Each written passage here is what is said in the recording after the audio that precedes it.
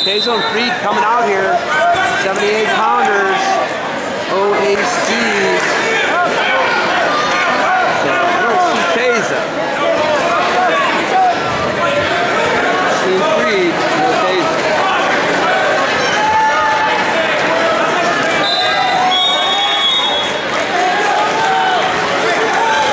So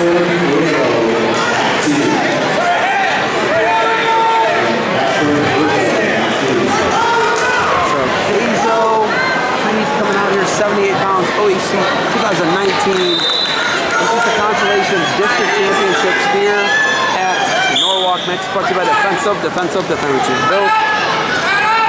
And Caizzo kind of sits through that Fried, trying to come over top and pancake him here. You by Barbarian Apparel.